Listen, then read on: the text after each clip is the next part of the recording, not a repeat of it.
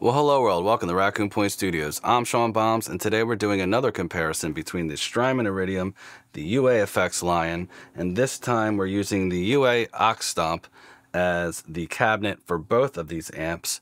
And I want to explain all this mess to you so you know what's going on and why it's like this because it wasn't easy to get this test going in the first place. And after that, I'm going to go into the app and just show you what mics I'm using and what cabinet I'm using. So first we have the Ditto, which is the looper, and I already pre-recorded something so I can just send that to these amps and twist the knobs in real time and not have to worry about stopping and starting. And then from there, it goes into the input of the radial Twin City. It's an ABY switch and it has class A topology and buffers, meaning it can send the signal to two different places without degradation. So that is going into each of the amps of the amps outputs are going into the line selector. This allows me to have only one output going into the input of the OX Stomp because if you put two of these into there, you will not be able to use both mics at the same time for each amp. It'll be one or the other. And if I did it that way, then it would just be, you know, it wouldn't be the same. So this way, if you if you have two inputs, it sees it as a stereo source regardless of whatever you're putting into it. So this way I can treat it as it's intended to be used and no issues. So that's how this test goes. So now let's go into the app. I have a 4x12 white 75 cab.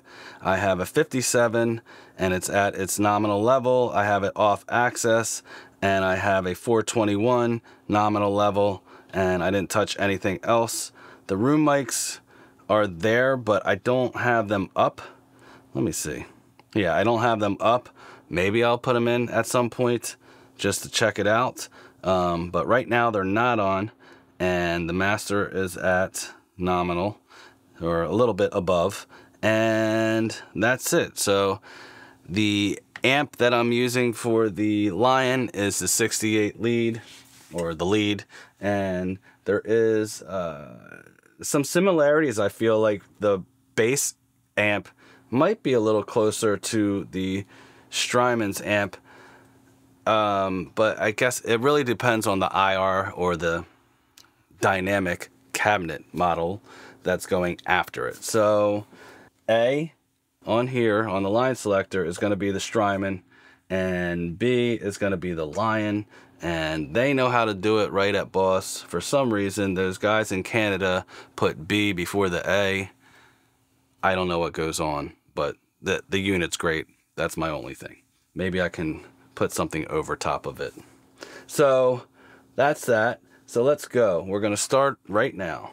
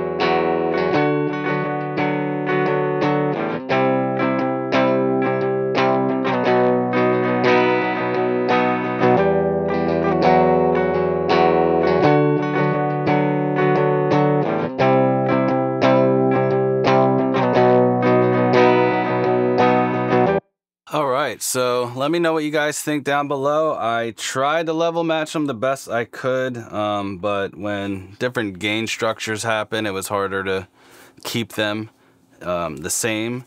The Strymon definitely compresses a lot more. I feel like the Lion is definitely more dynamic. It has, um, it just lets the transients come through a lot more. There's definitely more loud to quiet dynamics going on, and you can hear the picking a lot better. It's not as muffly. Um, the Strymon definitely has a little bit less high end into it. It has a lot more low end in it.